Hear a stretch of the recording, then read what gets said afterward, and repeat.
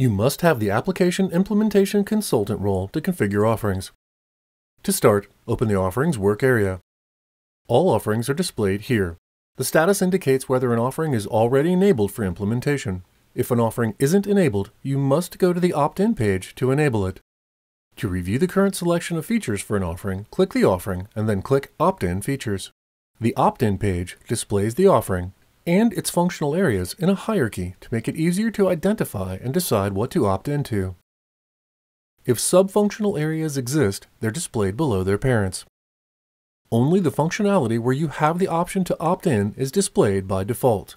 You can remove this filter to display all the core functionality that's enabled by default. You cannot opt out of core functionality. To opt into an offering or any of the functional areas, click the switch in the Enable Status column. Before you can opt into a functional area, you must opt into the parent offering. For example, before you can opt into any of these functional areas, you must first opt into the Human Resources Business Intelligence Analytics offering. If a functional area has more detailed features you can opt into, a Go to Opt-in Features icon is displayed. The Feature Opt-in page behaves and displays features the same as the opt-in page. Features and sub-features are shown in a hierarchy, and you cannot enable a child feature without first enabling its parent.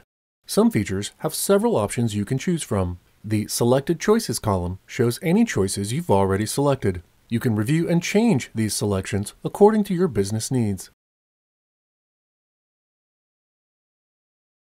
Sometimes a functional area or feature is shown as enabled with no option to opt in or out. This means it's core functionality that must be used. However, you can still opt in or out of its sub-functional areas and features as usual. When you're finished enabling the functional areas and features you want to use, you can start to set up the offering. For more information, watch the Set Up Offering tutorial.